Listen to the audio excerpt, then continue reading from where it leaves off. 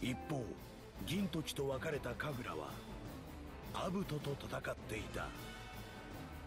まるで野獣同士の食い合いのような激しい攻防を繰り広げる。ろくに戦場に出たこともないガキが俺に食らいついてくるとはね。闘争本能だけは親父いや兄貴譲りというわけか。お前らと一緒にするなと言ってるある野党の血に流され戦場をさまようだけのお前らと。私は自分の戦場は自分で決める血ではなく心で。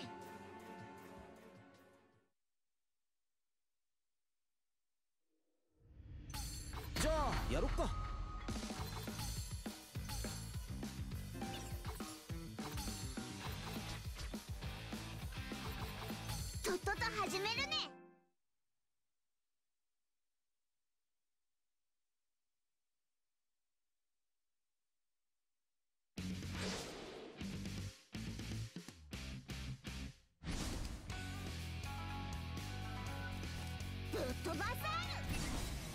キラ相手してやる。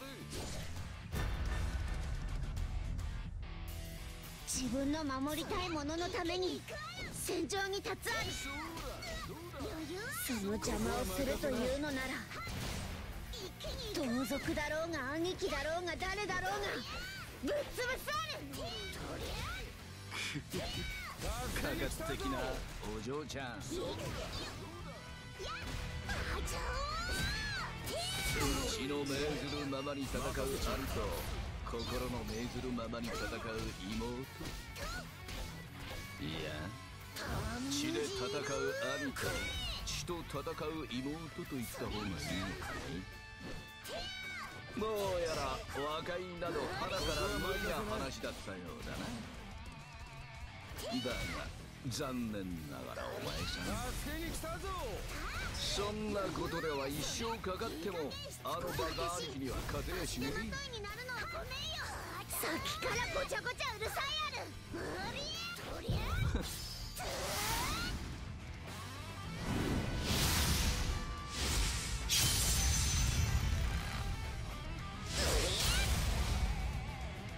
今にわかるさ待たせちまったなさて問題だここは倒す任せな拳と殺す拳一体どちらが重いか。な参ったね。正解は。いい加減しつこいね。感じるくらい。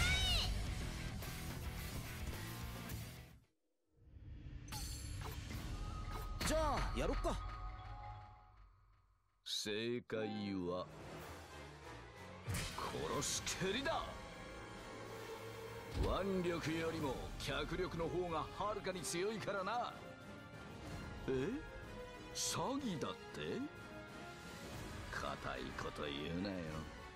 たかがクイズじゃねえか。人を傷つけたくない。人を殺したくない。大層立派な考えだ。このぬるま湯地球ではな。だが戦場ではそんなもの通じない。戦場では迷った者から死んでゆく。血を拒絶するお前とそれを誇る俺たち。腹から勝負になんてなやしね神楽ちゃんを神楽ちゃんを 今のは良かったぜ坊主。殺す気満々だった。だが残念。そっちはもうありゃしねえよ。新八！さあここでまた選択肢だ。どちらが先に死ぬ？選べ。やめろ新八を離さるそんな選択肢はねえ言ったろう人生は重要な選択肢の連続だ。後悔しねえようにベストな選択肢を選ぶんだな。まお前が死ね。決まりだな。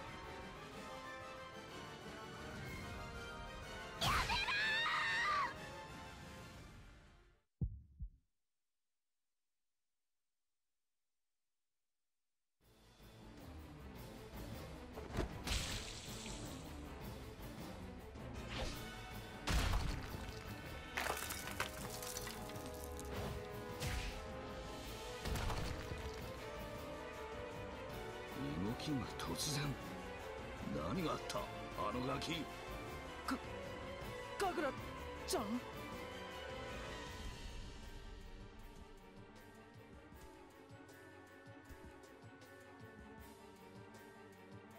鎖がちぎれたか。人を殺めることを恐れるあまり。無意識にヤトの能力を抑え込んでいた鎖が仲間の危機に瀕して理性と共に弾け飛んだか。ようやく目を覚ましやがった。獣が。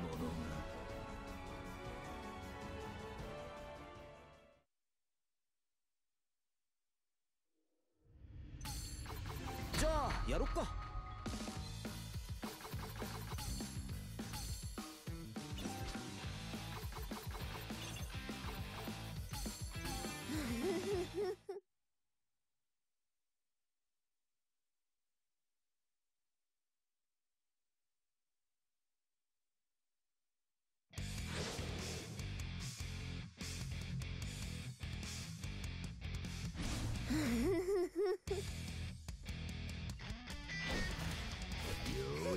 を覚ましやがった。獣がかぐらちゃん！待っていたぞお前が来るの。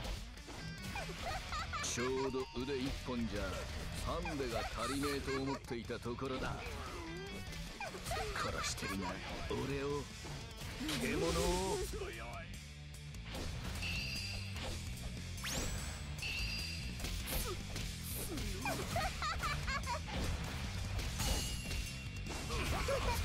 か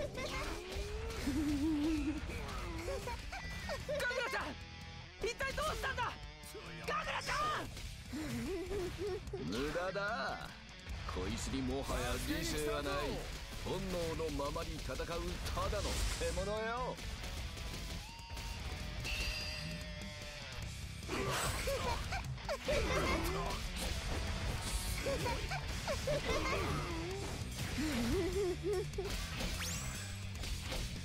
待たせちまったな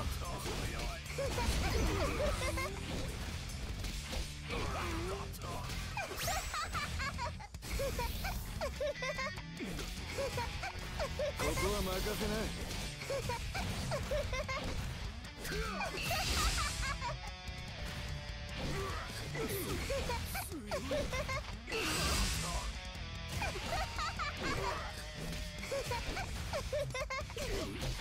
せちまったな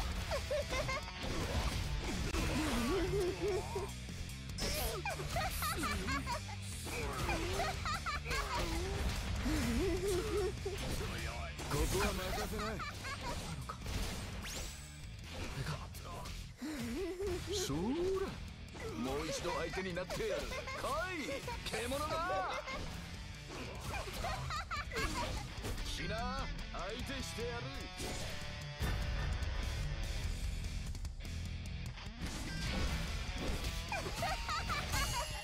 助けに来たぞ。どうしたどうした。攻撃が単調だぜ。理性どころか知性も吹っ飛んだかせちまったな。所詮獣は獣でも小ウサギか。そ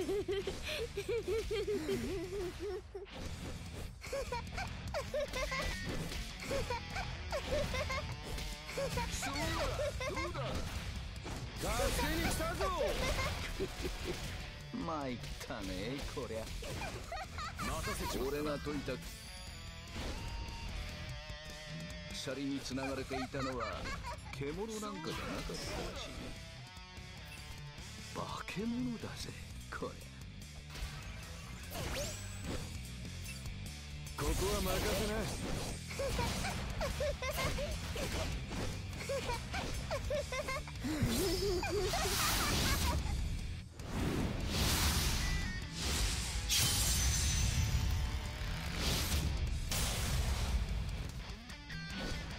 助けに来たぞ。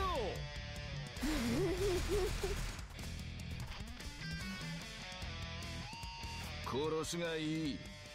本能の命ずるままに。俺たちの居場所は戦場しかねえんだ。戦場で生き残るにはそれしかねえんだ。それが死ぬまで戦い続ける獣の宿命。ヤトの宿命よ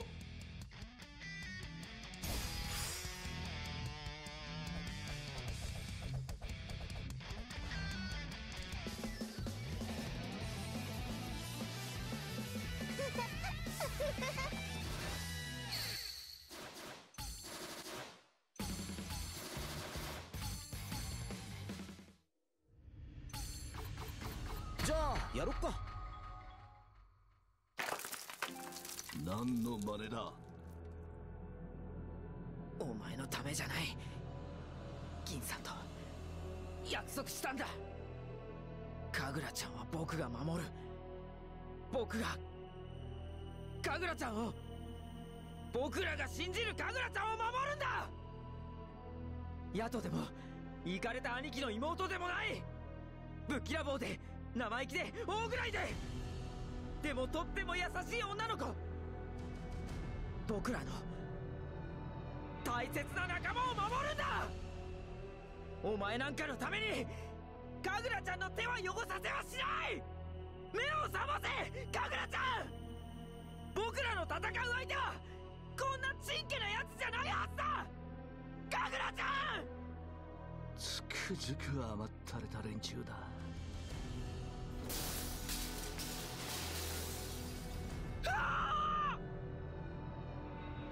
さてここでまた選択肢だ。宝泉を殺さずに宝泉に殺されるか。宝泉を殺そうとして宝泉に殺されるか。さてどっちを選ぶ？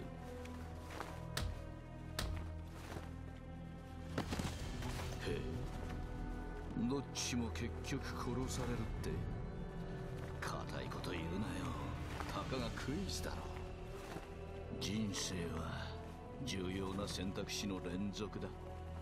お前さんたちの甘い選択肢でどこまでいけるかやってみるがいい。お前言っただろう。俺は共食いは嫌いなんだ。